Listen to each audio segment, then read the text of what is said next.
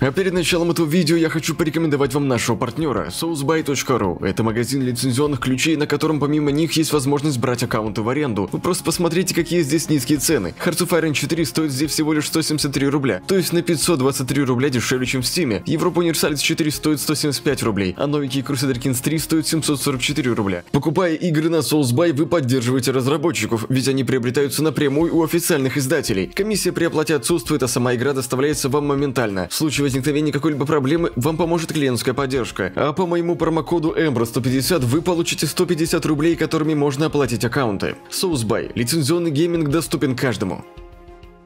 Всем привет, мы продолжаем. Насчет, кстати, Амура Магадана, здесь Амур начал тащить. Он пробился вот сюда, вот это означает то, что он сделал котел. И в целом, я так понимаю, победа будет за ним. Ну, по крайней мере, я на это рассчитываю, потому что э, нам желательно, чтобы он победил. Мы, кстати, я так понимаю, совсем скоро уже будем влетать туда, на восток, потому что война на горизонте. Наша промышленность растет, наши границы защищены, наши войска готовы идти к победе. Настало время посмотреть вперед и закончить одно давнее дело. Систематическое уничтожение российской фашистской партии и их лакеев. Мы обрушим их финансы, раздавим партию фашистов и вернем территорию, на которой мы потратили много сил после крушения Союза. Большевики не смогли с нами справиться, не смогут и предатели-фашисты. Мы теперь сильны, мы покажем истинную мощь обновленного белого движения. Что здесь очень вкусно, так это стабильность плюс 20%. У нас сейчас 1%. Было бы неплохо, знаете, так на двадцаточку поднять. Кто не в курсе, здесь стабильность влияет не только на экономику, как в ваниле, но еще и на войска. Также скорость строительства вон, цель сопротивления на оккупированных территориях 19, пока что у нас сейчас процентов. Желательно поднять стабильность, потому что нам будет и проще поддерживать экономику, и проще сражаться. Война на горизонте. Михаил II стоял за дверью, щель в которой позволяла отчетливо слышать голоса внутри. Его генералы собирались на совещании, царь счел невежливым прерывать их, довольный тем, что остался снаружи и слушал. Первым заговорил безошибочно узнаваемый голос генерала Леонида Мустафина. «Меня не слишком беспокоит фашистское военизированное формирование, но я понимаю, что Матковский набрал большое количество наемников. Они опытные бойцы могут стать настоящей проблемой для наших солдат. При словах генерала, которые, казалось, подразумевали, что конфликт вот-вот начнется, Михаил не мог не начать беспокоиться. Неужели война начнется так скоро? Затем раздался второй характерный голос Бориса Шипунова, начальника штаба сухопутных войск. Я не согласен, Леонид. Наемники умеют сражаться с бандитами, а не с настоящими армиями. Когда они увидят наших солдат, они разбегутся по ветру и бросят фашистов на произвол судьбы. И у этого сброда не будет ни единого шанса против наших сил. Михаил почувствовал, как у него упало сердце. Его подозрения были верны. И независимо от того, что он хотел, его маленькое королевство шло к войне. Он старался не думать о том, что все это может обернуться для него очень плохо. На самом деле он настолько разволновался, что случайно толкнул дверь. «Все это прекрасно», — сказал третий человек. «Генерал Владимир Абрамов. Но у вас по-прежнему нет планов в завоевании этих территорий. Как вы предлагаете нам поступить?» Удивленный появлением своего государя, Абрамов замолчал, а все генералы обратили свое внимание на Михаила. Первым заговорил Шипунов. «Ваше императорское величество, у нас потрясающие новости. Перо отложено в сторону, и меч должен быть обнажен. У нас открывается новое дерево фокусов. А вот оно что.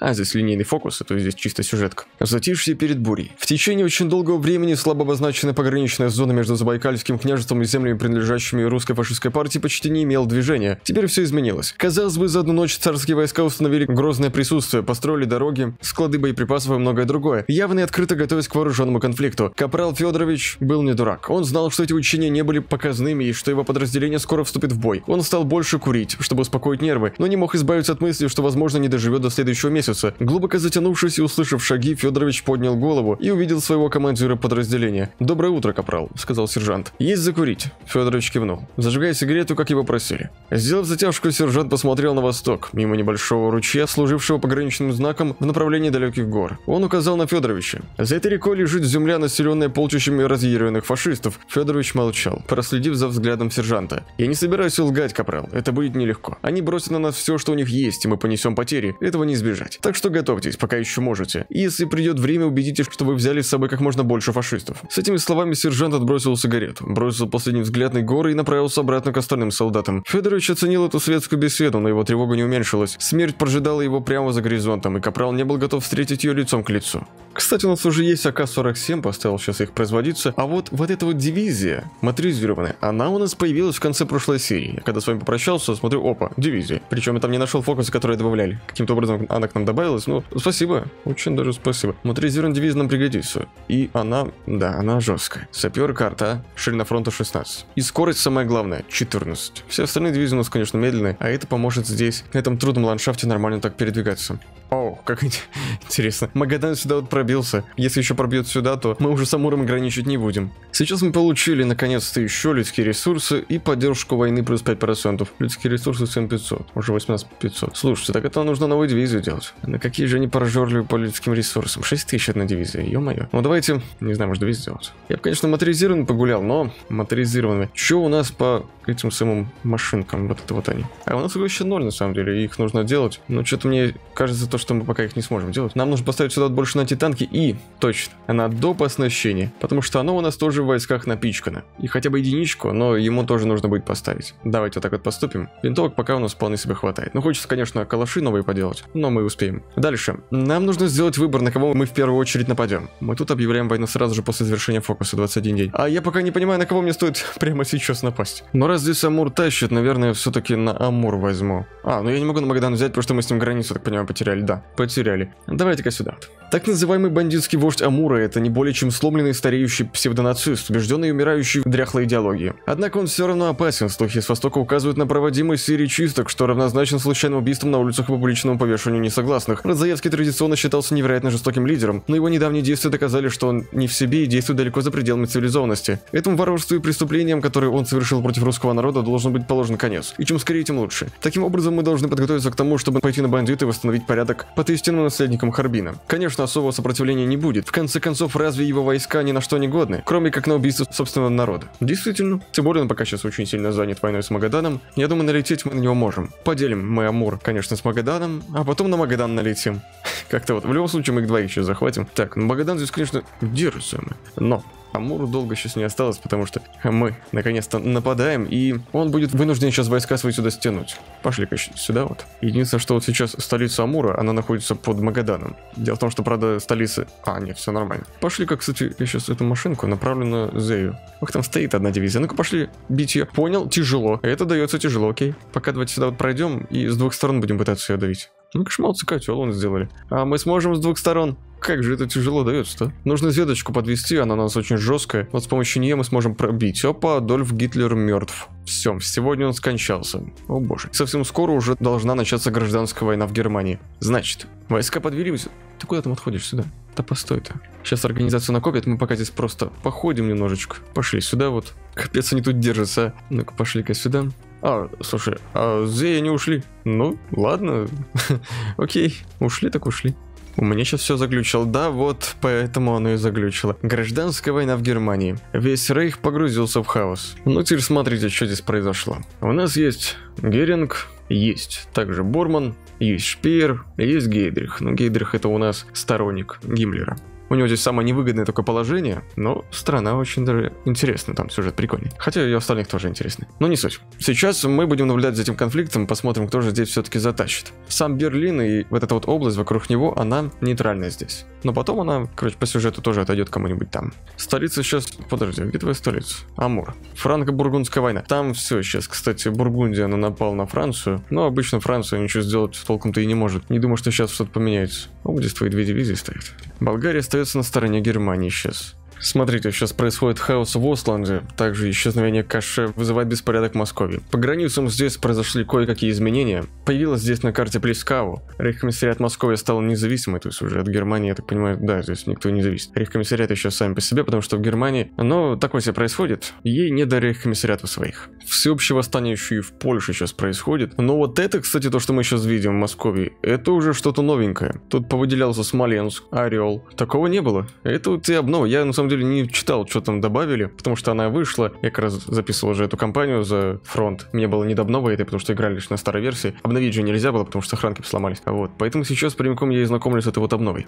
Ну и, конечно же, Бургундия разобралась с Францией, также еще Британь себе куски здесь забрала. А вот в Англии происходит гражданская война. Английское сопротивление сражается против королевства Англия. Ну, я так понимаю, здесь сопротивление вполне себе победит. Да, войск у него больше. Хотя, на самом деле, войск у королевства Англии не так уж то и мало тоже. Но здесь еще Корнуольское губернаторство сражается против сопротивления. А это у нас страна под немцами вообще должна быть. Ну, у них мало дивизий, поэтому такое. Сейчас, кстати, в Африке сформировали африканский щит. Ну, это все по сюжету идет. А вот в Магадане побеждает Милитарштадт, Мадагаскар. А вот здесь Хитнагдунское это самое движение, оно более-менее тащило, захватило почти половину Мадагаскара, но, как вы видите, далее ничего сделать не получилось. А вот у нас здесь щит африканский. И он уже скоро должен будет конфликтовать с Южной Африкой. А вот здесь, в Восточной Европе, уже появился Воронеж. Вон какой. Также Витебск, Центральноевропейский совет. Есть еще Объединенная Лига Остланда. Куча просто стран. Аж глаза разбегаются, какая здесь каша. Вот и сама Южноафриканская война здесь случилось восстание. Никто не начинает войну, или вернее никто в здравом уме не должен этого делать, не выяснив предварительно, что он намерен добиться этой войной и как он намерен ее вести. Восстание здесь случилось, фашистов. И им, конечно же, здесь будет африканский щит помогать. Значит, возвращаемся мы вот сюда вот. Тут что-то я отвлекся. Нам нужно сейчас пробежаться до Чумикана. Там он почти уже, кстати, капитулировал. Немного осталось, э, только вот село это взять, и в принципе все. Но думаю, что уже пора брать фокус на Магадан. Если варвар старт Заевского плохо, то прагматичность Матковского ничуть не лучше. Базируясь в холодном порту Магадана, он считается менее радикальным, чем бандитский вождь. Но менее радикальный радикал все равно остается радикалом. Этот, по крайней мере, достаточно умен, чтобы знать, как приспособиться к предстоящему ситуации. И это делает его бесконечно более опасным, чем нацист из Зей. Ходят слухи, что Матковский ищет иностранного признания и помощи, доходя даже до позиционирования себя как умеренно претендента на Дальнем Востоке. Нельзя допустить, чтобы так продолжалось и дальше. Ибо сейчас просто иностранную помощь означает, что даже самая незначительная сумма может стать переломным моментом в битве между наследниками Харбина. Мы должны действовать быстро, и даже если это приведет к перенапряжению наших вооруженных сил. Мы должны попытаться покончить с режимом Матковского до того, как он намертво укрепится. Да, это в полном смысле авантюра, но мы должны совершить ее, дабы обезопасить наше положение. Так, у нас есть 21 день, там даже меньше на самом деле. 11 дней у нас есть. Быстренько давайте сюда. Здесь... А, тут они куда-то там едут, а ну стоять. Держим их. Машинки заканчиваются, конечно, потому что мы их не делаем. Но хоть там нам дали с появлением этой дивизии, хоть сколько там. Пока, думаю, нам этого хватит. Ты иди-ка пока сюда, ты сюда. Вот видите, все. Астафрика нападает на Южноафриканский союз. Государство боги смерти объявляет войну государству... Так, это что там в Восточной Европе происходит, извините? Что за боги смерти? Краснозвездная объединенная армия. Офигеть, а неплохо они тут сделали, потому что прошлая нашей компании в Москве была просто. Просто пустышка, здесь груз такой, через который нам приходилось пройти для того, чтобы захватить Германию. Черные бригады, Басеги, а вот национал-социалисты здесь, Пенза также есть. А вот и боги смерти. О, и они сражаются с Москвой. О как. По войскам чего у них 3-7, 5-7 Москвы. Ну да, здесь, как вы понимаете, битвы не масштабные вообще. И, кстати, будем наблюдать мы еще за ЗРРФ. Посмотрим, что они тут будут делать. Интересно теперь будет понаблюдать со стороны вообще за ними. Так, ну, мы там двигаемся. Как же здесь тяжело проходить. Это, конечно, да, не Европа, как в прошлый раз мы играли. Тут суровые территории. Так, дивизия, ну, да, я понимаю, но нужно держать. Ах ты, гад, смотри, где он стоит. А войска здесь стоят. Это да, нужно, получается, сюда идти. Тут пока одну дивизию оставлю. Ты давай так вот иди. Может, здесь да и пробьемся. Кстати, это было бы вообще неплохо, на самом деле. А здесь трогать ничего не надо, пусть то дивизия здесь помогает. Магаданская авантюра, вот война началась. не хотел время терять, сразу мы и напали на этих. А, так, блин, а можно было время и потянуть, потому что пока мы их не захватим, здесь фокус не откроется. Класс, зато полетелось по копьям, а только доберем фокус, она медленнее растет. И тут понапрожимало, кстати, вот это все дело. У нас еще три добычи есть, нужно две куда-то потратить. Я думаю, насчет промышленного оборудования давайте возьмем. Было бы вообще неплохо. Так, здесь мы сейчас пробиваемся. А чуть дивизия истощается. Смотрите, полностью истощенная. О, ну здрасте. Проходим. Так, подожди-ка, только Магадан, ты стой на месте. Здесь можно пройти немного даже. Все, сейчас мы это берем. Тут все же следует держать их. Или они стоят там. А, тут эта машинка едет. Может, она сюда едет. Хотя нет, сюда. Да, приехала. Класс, ладно. Мы здесь можем с двух сторон атаковать, и думаю, сейчас пробьем нормально будет. Магадан что-то как-то... Сколько у тебя войск вообще? Может, у него там вообще войск не осталось? А, где? А, я вас понял. Тут же, помните, Амур закрыл котел, и в итоге получилось так, что осталась всего лишь одна дивизия Магадана. Все, мы тогда сейчас просто ее так обойдем, я пустил сразу дивизию на столицу их. Пробежимся по побережью. Что там у нас? Так, а с Москвой, подожди. А, Москва захватила этих. Блин, было бы интересно, если бы они тут начали гадость свою творить. Я бы за таким понаблюдал. А в Германии пока, ну, конечно, Гейдриху максимально фигово, но здесь пока сложно что-то сказать. Насчет английского сопротивления, смотрите, побеждает. Оно сможет даже Корнуолл отбить. Просто в прошлый раз было все вообще наоборот. Ладно, Взяли мы это дело, ну, ты там будешь, чувак, 98%. Да ладно, это, это все из-за того, что мы не взяли эти две провинции. Ладно, погнали кого-то сюда вот. Ты топай сюда, ага. Тут можно просто давить. Смотрю, они полностью убиваются вообще. Так что нормально. Сейчас мы туда двигаемся, еще и Магадан берем. А здесь, думаю, тоже можно, в принципе, давить. Получится у нас такое. А ты сюда иди. Вот. Я думаю, этого хватит. Там 2%. Здесь как раз 2% и находится. Не буду бегать туда, давайте здесь дожмем. Хотя, с другой стороны, Таню не хочу войска свои отводить. С Магаданом быстрее так разберемся. Просто, чтобы больше снаряжения получить, можно было их не добивать. Просто Магадан вон что делает, а? А он идет. Слушай, так идет это плохо, это может перекрыть эту единичку. Там, может, не мы его перекроем, а он нас. Быстрее здесь заканчиваем, давайте. Тут проходим сейчас. Опа, прошли. Проценты подскажи. Что судить? Прикольно. Все, все. Ах ты, блин, а. Ладно. Э, вот эту единичку я отправлю сейчас вот так вот. А ты иди сюда. Ты давай вот сюда. Да и, в принципе, сейчас с ним уже разберемся. Топливо только заканчивается. 10 тысяч осталось у нас. Перекрыли, да, пофиг. Магаданский порт захвачен. Когда наши войска прорвались через дальневосточные рубежи, их наступление на вражеские земли было остановлено только морем. Великий Тихий океан, открытый и широкий, встретил наших людей после кровавой битвы, когда Магадан перешел под наш контроль. Ледяные неспокойные воды простирались перед ними на многие километры во всех направлениях. Таинственный простор сибирских вод был домом для самого значительного порта в восточно-русских пустошах. Центр торговли и контрабанды с особым вкусом к японским и американским товарам. Магаданский порт открывает перед нашей администрацией большие возможности не только в торговле, но и международной репутации. Имея под нашим контролем этот бесценный порт, мы молимся о том, чтобы наша нога оказалась на пороге международного признания торговли. Ворота в России надежно защищены. Магаданский порт. О, торговый конвой, стоимость производства уменьшается, а также производство верфи и скорость строительства верфей. Но пока мы флотом особо не занимаемся, так, ну, потому что мы вообще им не могли заниматься. А теперь, видимо, Придется. Хотя здесь Тихоокеанский флот нам по сути не нужен. Чем будем им делать, а? Для торговли таки да, а для всего остального там не особо нам он быть нужен. Свободные верфи, кстати, у нас теперь появились. Ну, конвой, да. Давайте будем конвой делать. Охотск мы уже взяли. Давайте-ка... Ладно, пусть эта дивизия идет сюда, а эту единичку будем гонять сейчас. Так, разведку взяли. Готово. Вот, блин, был Виктори Пойнт где, вот его надо брать. Я что-то тут мучился, капец. Ладно. Бойцы Белой Армии многое повидали в своих походах против фашистов на Амуре, но они не были готовы к тому, что обнаружили в тот день. Фашисты, находившиеся на грани полного разгрома, ночью оставили свои позиции, спасаясь бегством. Продвигаясь мимо своей прежней оборонной линии, отряд вскоре наткнулся на то, что они сначала приняли из-за проволочного забора и наблюдательных вышек, как укрепленный склад снабжения. Башни заброшены, небольшая группа добровольцев под пристальным наблюдением прорвала главные ворота. Вскоре после этого они вернулись с белыми лицами. Остальная часть подразделения вскоре поняла почему. Комплекс был не складом снабжения. Это был скорее лагерь для тех, кого режим разведского считал нежелательным в любом виде. Политически, социально, этнически, религиозно или вообще по любой причине. Бывшие охранники лагеря дезертировали вместе со своими соотечественниками, но оставили своих заключенных. Оболочки, которые двигались,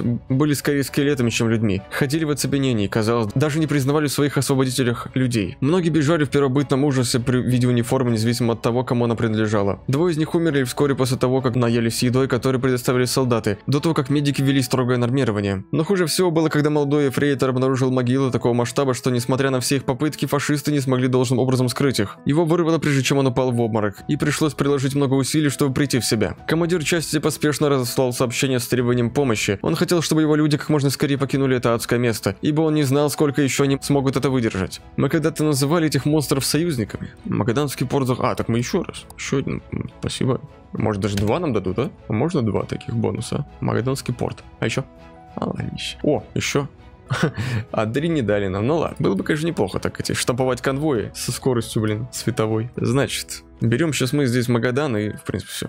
Казнь Константина Радзаевского. Константин Радзаевский последний раз огляделся по сторонам. Его любимая Сибирь была так же прекрасна, как и всегда, и его тюремщики не могли бы выбрать более прекрасный день, чтобы казнить его. По дороге к месту казни он кричал до хрипоты, и все, что осталось от него, излучая каждую черту лица, это ярость. Это было то, что его палачи без сомнения могли видеть. Константин Радзаевский, у вас есть последнее слово. Пока главный палач говорил, Радзаевский снова обратил свое внимание на людей, которые теперь целились в него из винтовок. Да, есть. Его больное горло с трудом выговорило слова. Все, что я делал, я делал для России. Вы можете называть меня чудовищем, но скоро люди поймут, что только чудовище имеет силу спасти эту страну. Может быть, если бы я убил этого дряхлого ублюдка Семенова и остальных забытых пережитков прошлого еще в Харбине, когда у меня была такая возможность, мы оказались бы в совсем другой ситуации, да? Демагог издал болезненный хриплый смешок и выпрямился насколько мог. Ну так давайте, гордитесь своим слабым царем и стреляйте уже в меня. Шквал оружейных выстрелов удачно прервал насмешливо последние слова Розаевского, и бывший фашистский лидер упал на колени, прежде чем рухнуть лицо в окровавленный снег. На этом его движение завершило тот самый путь, которому оно следовало все эти годы. Безудержное ожесточенное насилие. Возможно, на российском Дальнем Востоке есть какая-то справедливость. Так, поддержка партии национал-социалистов у нас падает на 10%. Вот. Тем самым популярность нашей партии, Михаила II, увеличивается а фашисты сейчас популярны всего лишь на 2%. Теперь, когда мы закрепили за собой Амурский регион, мы можем оценить средства РФП и точно решить, что нам следует сохранить. Одним из немногих по-настоящему полезных ресурсов, унаследованных нами от Радзаевского, является его связи с Японией. Хотя они не совсем довольны тем, что мы свергли их золотого мальчика, японцы не более чем прагматики. Они знают, что наша администрация была бы гораздо предпочтительнее возрождающего Советского Союза. И даже если их стратегия будет заключаться в том, чтобы снабжать нас в тщетной попытке сохранить Россию разделенной, мы примем любую помощь, которую сможем получить. Штурмовые винтовки, артиллерийские орудия, грузовики и даже пули. Все, что они готовы продать, мы готовы купить. Торговцы оружием поначалу могут быть холодны, но мы можем заставить их принять нашу точку зрения. Несколько завуалированных угроз о возрождении союзов и последующее метафорическое мелькание долларовых купюр приведут их в восторг. Разблокируем возможность контакта с Японией. Пройдет событие звонок из Токио. Окей, давайте. Опа-на. Смотри, что сейчас происходит. А у нас здесь появился отец севера. И пока что, ну, пока что он просто получает территории. Сейчас он еще Чукотку себе заберет, вот эти земли. И потом уже у нас начнется сюжет с ним. У нас не заканчивается сюжет на Аморе и Магадане. Опа, смотри, куда пошел. Следующий наш соперник, я так сделаю небольшой спойлер, это будет вот этот вот батя. Но там будет кое-что интересное, что вы увидите чуть позже.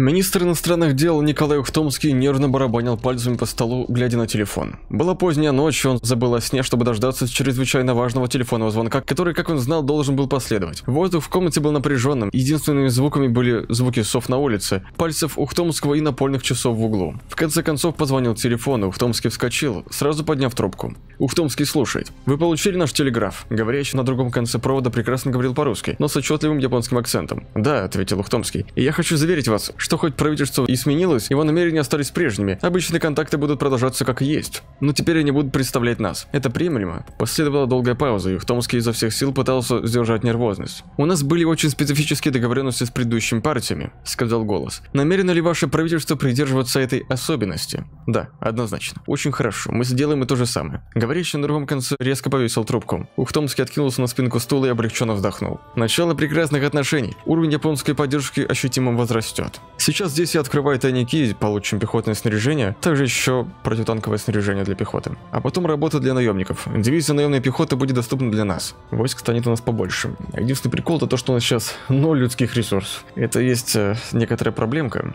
Так, ну потому что все ушло на гарнизон. Гарнизоном у нас там что занимаются? Какие дивизии? Царская дивизия этим занимается. Ну, в принципе, лучше нету, поэтому пускай она и занимается. Мы сейчас что можем сделать? А именно провести национализацию этих земель, тем самым не париться насчет подавления сопротивления здесь. Конечно, два месяца придется подождать. Но зато людские ресурсы подрастут. Очень даже сильно. Пока, да, пока ноль. А Малон, кстати, уже захватил здесь весь Запад, но фокусы пока у него не появились. Но нам сообщат, когда там уже все у него появится. Здесь, кстати, в Сибири Томск воюет против Новосибирска. Но, я так понимаю, Новосибирску здесь недолго осталось. Хотя, у Томска тоже дивизий не так уж и много. Их, конечно, больше, ну, скорее всего, на единичку просто. Размер, конечно, стран отличается сильно, а вот по войскам примерно они одинаковые. Кемерово пока не взяли. Но здесь, понимаете, Томск прям рядом, его стоит взять, и Томску будет уже плохо. Кстати, здесь смотри, что происходит. А, Западно-русский революционный фронт пошел по пути Жукова, и сейчас он воюет против Тухачевского. Будет интересно, если вдруг Тухачевский сейчас захватит фронт. Оп, хохма будет, так какая? Гедрих сейчас, кстати, максимально фигово его здесь давит.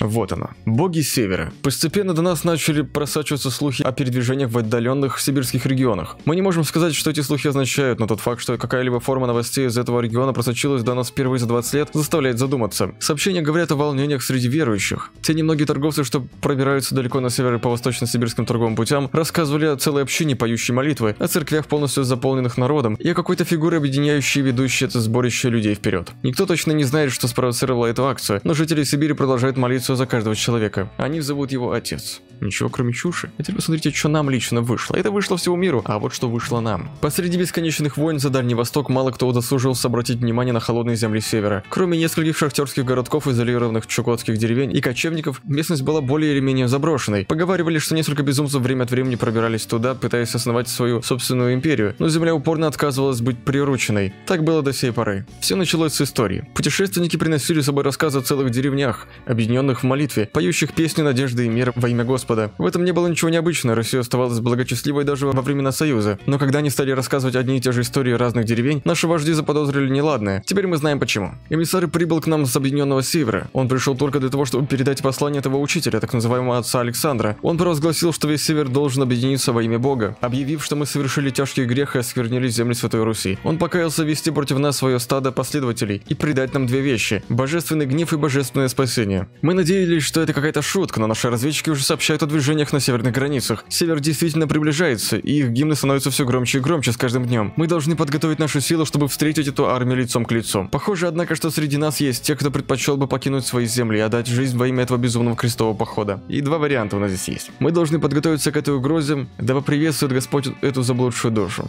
Если мы выберем второй вариант, то мы начнем играть за Божье владение над Дальним Востоком. Вот. Но эта кампания за читу компания за это самое владение, за отца, у нас будет как-нибудь другой раз. Но обязательно будет, потому что это будет реально интересно за такое поиграть. Но пока что нет. У нас планы совершенно другие. Это уж если хотите поиграть за отца, то нужно начинать за читу и вот таким вот образом дождаться этого ивента и тогда уже пересаживаться за отца. Фокус у него появились, и он уже плохо на нас настроен. Хамурский Аман, Магаданский Змей, ага, только это уже все. Это мы уже решили. А вот, что за фокус такой интересный? Уровень бедности. Угу.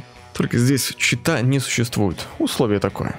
Вот, то есть они, как вы понимаете, очень скоро на нас налетят, и мы должны быть к этому готовы. Фокусы очень быстрые, по 15 дней просто пролетят незаметно. Сейчас давайте-ка мы построим, пожалуй, может, новые школы или научно-исследовательские учреждения. Давай-ка лучше квалификацию рабочих, будем обучать рабочих. Теперь нам нужно ждать, пока национализируются вот эти вот земли, потому что я не могу делать новые дивизии, а также не могу пополнить количество людских ресурсов в наших дивизиях, потому что там тоже не хватает. Суд над Михаилом Матковским. Михаил Алексеевич Матковский, лидер российской фашистской партии, вас обвиняют в чудовищных преступлениях против России И ее народа. Что вы скажете в свою защиту? Какое-то время Матковский молчал. Он за всех сил старался сохранить самообладание, чтобы сохранить хоть каплю достоинства, но ситуация затрудняла это. Я хочу сказать, что в мои намерения никогда не входило причинение вреда России. Я сделал только то, что считал необходимым, чтобы вернуть силу и единство этой сломленной нации. И если уж на то пошло, я бы сказал, что мое правительство было гораздо более легитимным, чем этот фальшивый суд. Матковский практически сразу подвергся насмешкам практически всех присутствующих на суде. Он попытался увернуться от овощей, которые бросали в него люди из зала суда, но ему было трудно это сделать из-за удерживающих его охранников. Один из обвинителей, который почти полностью состоял из членов штаба Читы, использовал эту возможность, чтобы наброситься. Господин Матковский, я уверен, что вам известно, ваш отец храбро погиб, сражаясь вместе с нами против большевиков во время гражданской войны. От чего добился его сын, стоя здесь, обвиняемый как военный преступник и фашистский тиран? Михаил Алексеевич, вы позорите наследие своего отца и наше движение. Я бы пошел еще дальше, объявив, что вы не заслуживаете даже имени Матковского. Матковский, который все еще был озабочен нападками из зала, посмеялся над этим обвинением. Смешно. Как вы посмели? Прежде чем настроение могло еще больше накалиться, судья несколько раз ударил молотком, чтобы восстановить контроль над судом. Порядок. Я буду иметь порядок. Теперь, Михаил Алексеевич, вам предъявлено обвинение в более чем 10 тысячах убийств и трех пунктах обвинения в преступлениях против человечности. Что скажете в свою защиту? Ответ обвиняемого никого не шокировал. Не виновен. Прежде чем это неповиновение могло вызвать новый хаос в суде, был назначен часовой перерыв, чтобы суд обсудил приговор. Его пощадят из уважения к отцу, но он никогда не вернется в Россию. Никакой пощады этой твари, он должен быть расстрелян. А вот что делать с Матковским? Напишите в комментариях, как вы думаете, что делать с правителем Магадана, ну, с бывшим правителем. А вот улучшать контакты с Японией, это будем делать мы уже в следующей серии, Политлайс я подкопил, мы ее как раз будем на это тратить. Насчет Матковского, напишите в комментариях свое мнение. Пока мы на этом закончим, спасибо всем большое за просмотр, ставьте лайки, пишите комментарии, подписывайтесь на канал, скачивайте моды на русском языке в нашу группу ВКонтакте, пишите там вопросы на стене или просто делитесь интересными моментами. Ставьте обязательно колокольчик, включайте все уведомления, чтобы больше не пропускать новые видео, оформляйте спонсорку, чтобы получить крутые бонусы, а также играйте в мультиплеерные партии, просто общайтесь на наших серверах в Дискорде по ссылкам в описании. Ну что ж, с вами был Эмбро, спасибо большое за просмотр, до встречи.